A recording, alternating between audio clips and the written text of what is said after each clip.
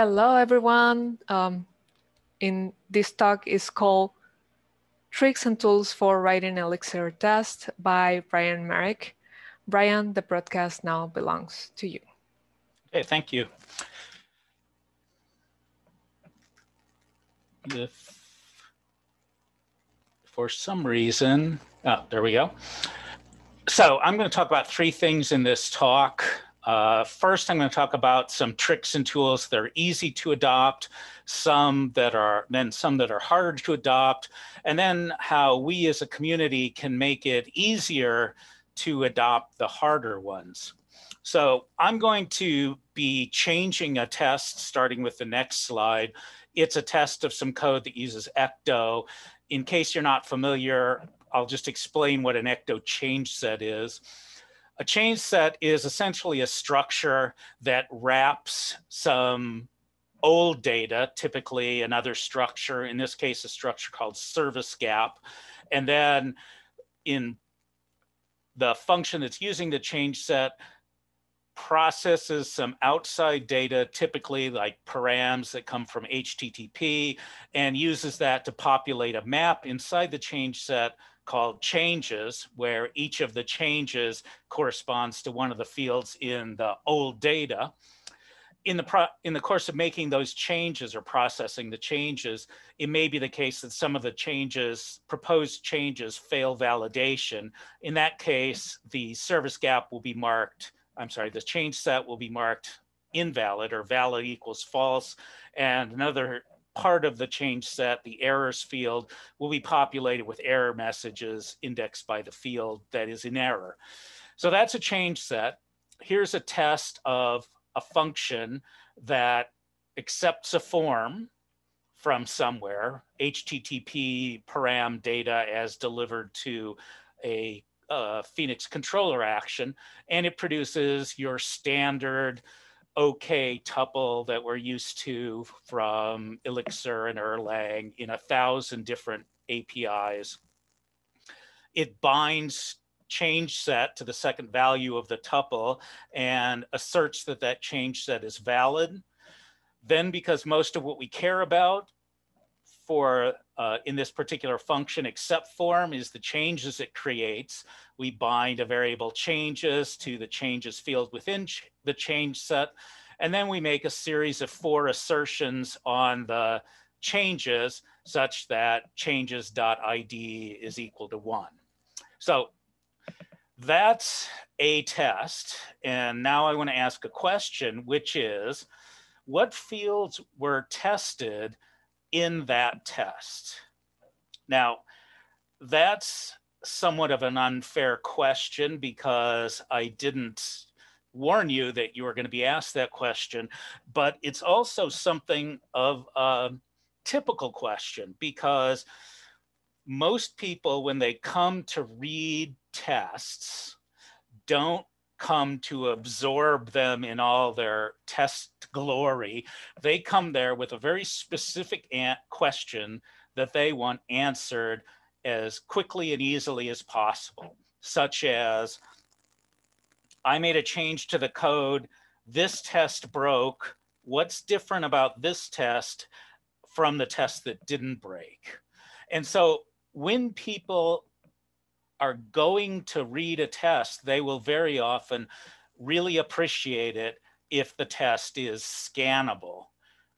That is, if they can read it quickly to find the answer they want. So what we're going to do in the first part of this talk is we're going to take the previous test and make it more scannable. So the first thing that I do is I'm replacing the four separate assertions with a function called assert fields. Assert fields takes a keyword argument or a keyword list argument and of value or keys to check and the values to check in those keys. Now, I want to claim that this, what you're seeing before, is easier to scan. It'd be easier to answer the question that I asked earlier. And there's a couple reasons for that. One is that the, the syntax coloring that my editor uses makes atoms stand out nicely. And so uh, as opposed to the previous case where everything was kind of dull, monotone white, here the most important things about what I'm asserting are in blue and stand out. The other reason is the assertions are, uh, they have empty space on the left of them, which is makes it easier to scan vertically than when there's a bunch of text on the right, especially since that text is all the same and all kind of boring. So that's one set of changes I made. The other set of changes I made was that rather than put the value I'm asserting about inside assert fields as the first argument, I pipe it into assert fields with uh, uh, the standard Elixir pipe operator. So the reason I'm doing that is because idiomatically in Elixir, we're used to seeing pipe operators, we're used to seeing pipelines of this sort, and we're used to thinking that the top of the pipeline is in some sense what this pipeline is about. And that's true in this case. This pipeline is about the changes in the change set. And it's easier to see that if you have the, the value on top of a pipeline than if it's in line inside of assert fields. Now, except uh, it's not really the case that this test is about the changes, it's about the change set because we have an assert change set dot valid up there. So what we'll do is we'll move the assert valid, the test for validity, into the pipeline. So now we have a nice scannable summary of what this test is about. It's about a change set that's got to be valid. It has particular changes. And if we want to know more detail about what changes it's testing, here they are in a way that nicely stands out. Another thing I want to look at is we've all seen OK tuple and pattern matching a, a billion billion times. It's not really necessary that we see it again. So let's make use of pipelining. So now we have uh, the next to last version of that this test. At the very top is what it is that I'm actually testing, except form. So it's not over to the right of the screen. It's right there on the top. Then we assert that the result of ex except form is in OK, uh, content wrapped in an OK. Then we assert what's true about that content. Now there's one problem that I actually only noticed when I was making these slides is that we've sort of, oh, I want to mention, by the way, that assert changes is just a, a shallow wrapper around assert fields. It just applies assert fields to change set dot changes. So when I was writing these, I realized something, which is that we've actually lost the word change set in here. And maybe it should be more obvious than we're, that we're actually testing a change set. And so the way I choose to do that is I wrote a variant of OK content, which takes an argument change set. So what OK content says is it says, first of all, we want an OK tuple and we fail with a nice assertion error if it's um, if it's not okay. Second, we extract the content. And third, the content must be a change set.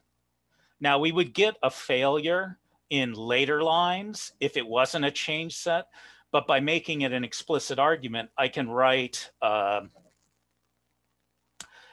I, I, can write a better error message. So OK content will produce a, a nicer error message. And I have to say, by the way, I've, built on top of a lot of unit testing tools over the past 20 years or so. And ExUnit is one of the nicest to build on top of because it lets you write good lets your custom assertions generate good error messages as in the same way that the built-in assert macro does. Uh, and then whoever wrote assert unit, they did, or ExUnit, they did a really nice job. So congratulations for that. Okay, so my claim is that the assertion or the test that you just saw is better than this test, more readable than this test, and no more difficult to write than this test and produces just as good error messages. So if you also like that, uh, you will be glad to know that there are packages on Hex that let you write assertions in this pipelining style. Flow assertions has a dependency only on the Elixir kernel. Ecto flow assertions has a dependency on Ecto, so it's used for testing, uh, making assertions about change sets and Ecto schemas. Everything I'm going to talk about is mentioned on the last slide, so you don't have to write any of this stuff down. Okay, I'm going to talk about a, a another hex package called Phoenix Integration, which was written by Boyd Multerer. And it lets you write tests like this. This is a workflow test.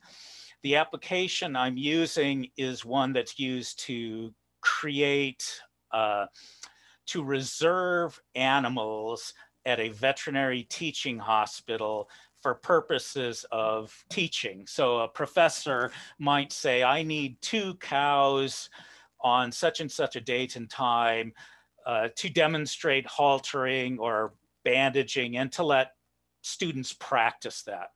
So you go through three, three screens to create a reservation.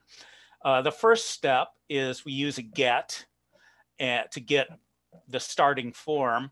Uh, get via action is mine. It's a thin wrapper over con.test.get.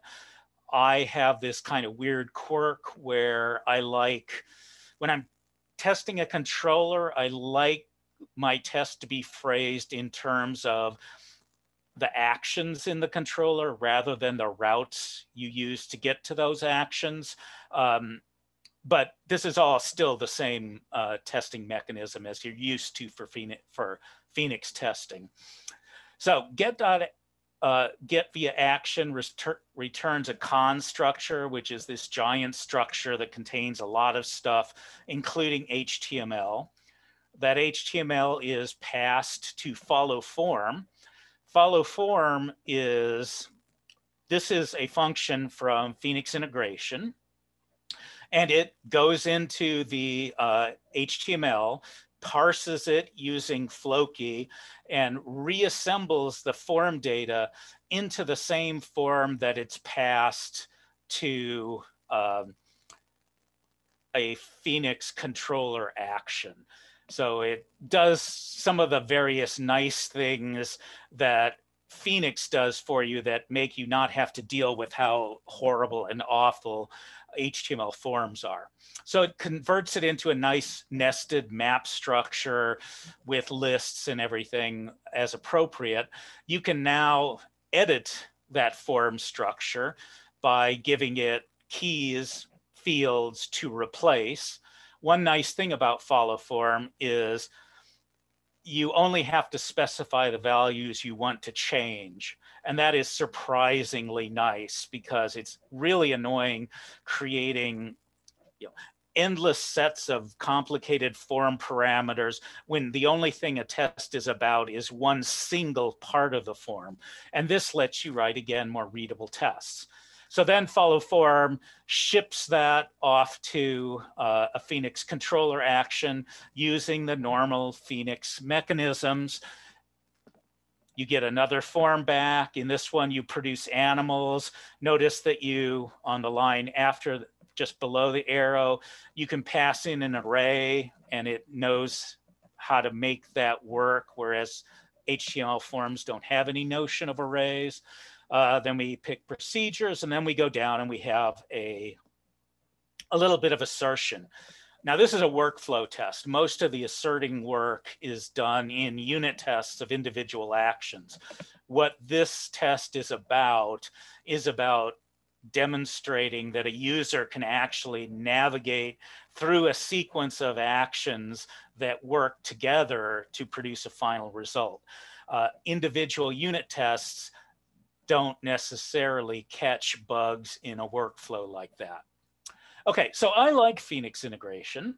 Um, and there are some other nice things about Phoenix integration that, by the way, I think fit nicely into what German Velasco was talking about earlier.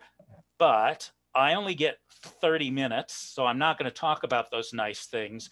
I did a write up of one of them that I'm going to link to at the end. Okay, now I'm going to look at the harder to adopt bits. So again, this is for reserving animals for procedures. And here you can see that uh, Dr. Morin reserved animals Beth and Bossy for hoof exam and care. So to demonstrate that. Now, hoof exam and care is a very non-invasive procedure. You can examine a cow's hooves all day, every day, and the cow won't care as long as you uh, let it keep eating, which is what cows do about 23 hours out of every day. But there are some procedures that are more invasive, they're more stressful for the animal. And so you're only allowed to do them to an animal every so often.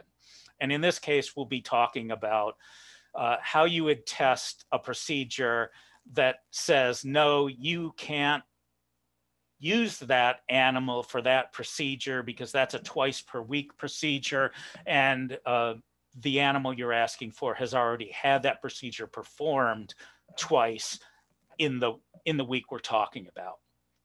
Now uh, the interesting thing is it's postgres via a query that makes the determination of of whether you're using an animal too much. So there's a big complicated, semi-complicated query into Postgres that gives you back uh,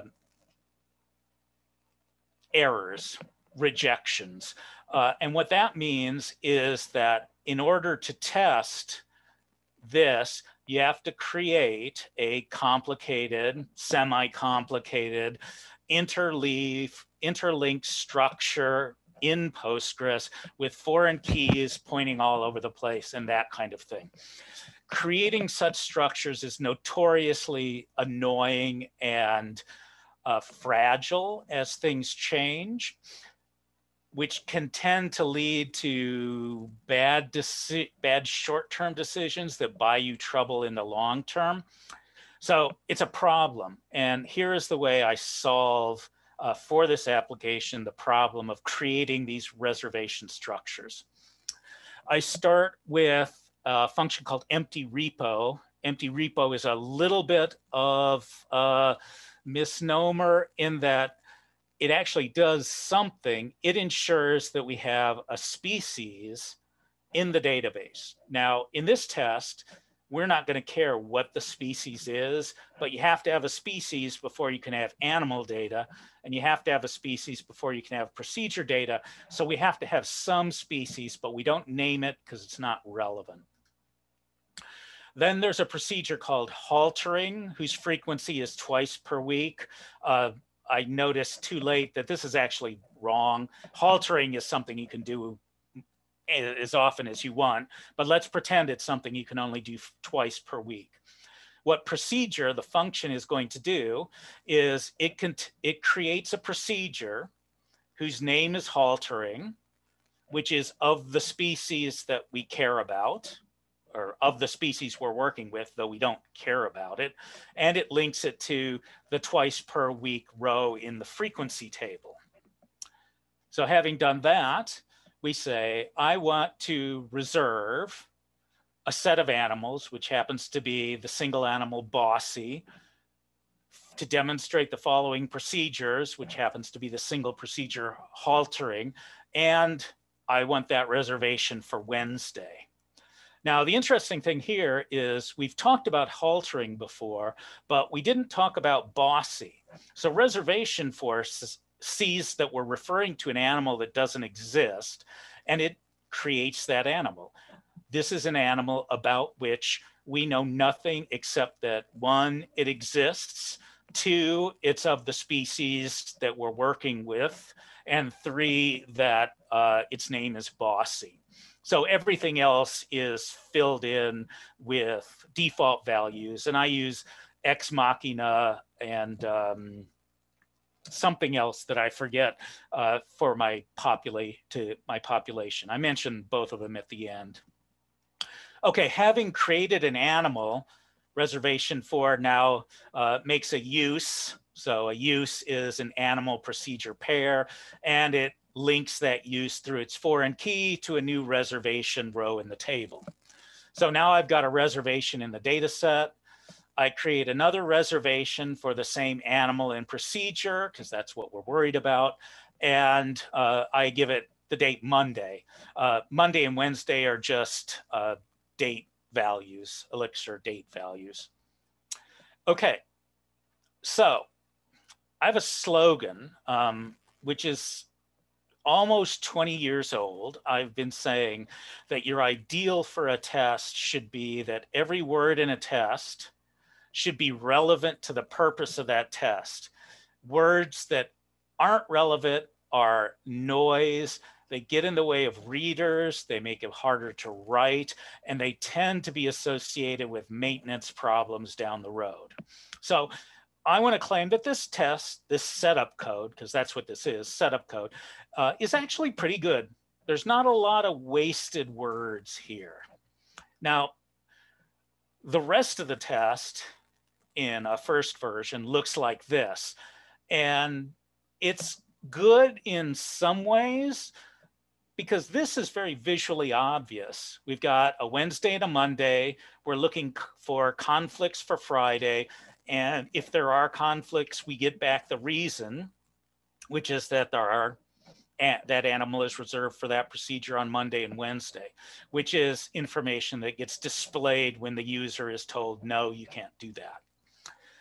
That's good. This information, while it's important that it be true, it's always going to be true in the following sense.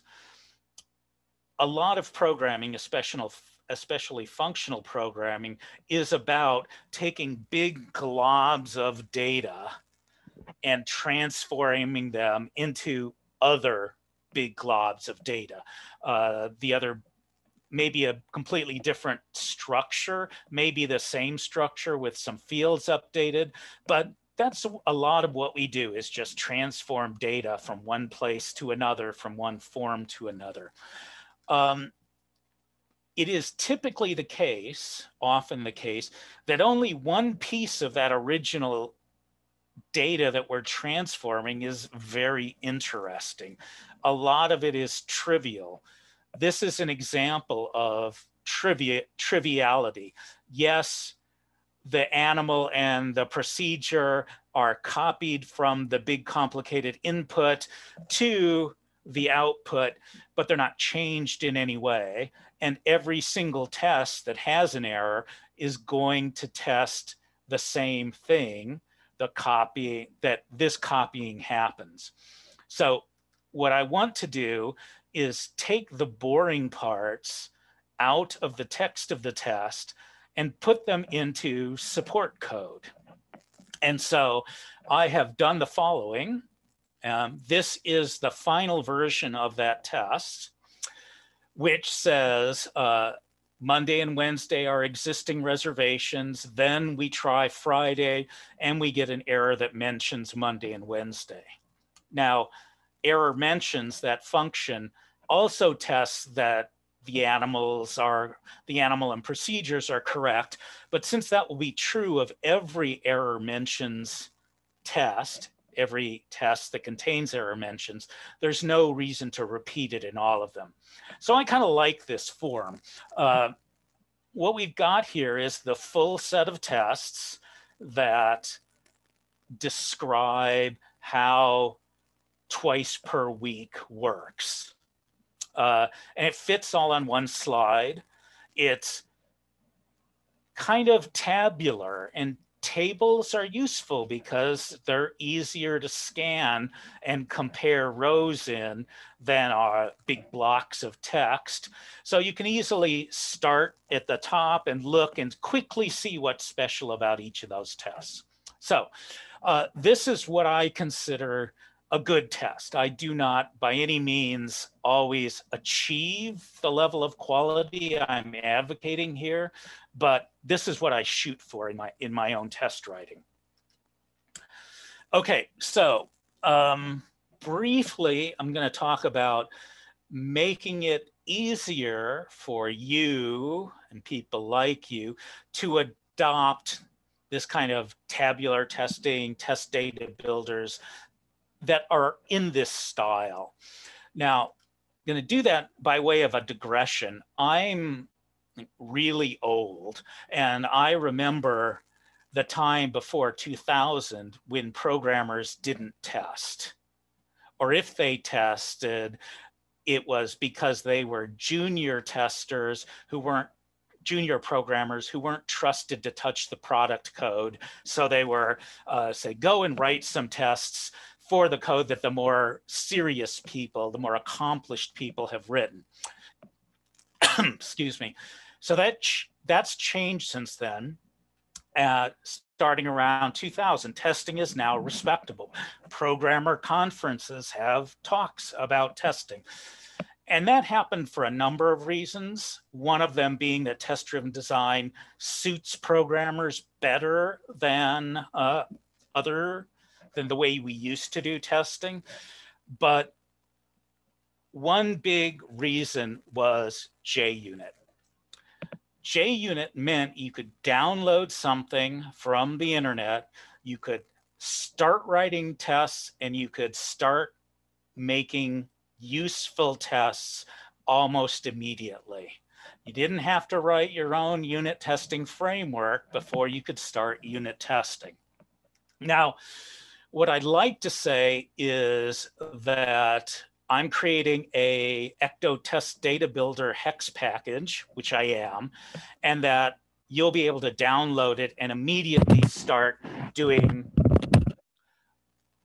JUnit style testing. That is, start making immediate, immediate progress.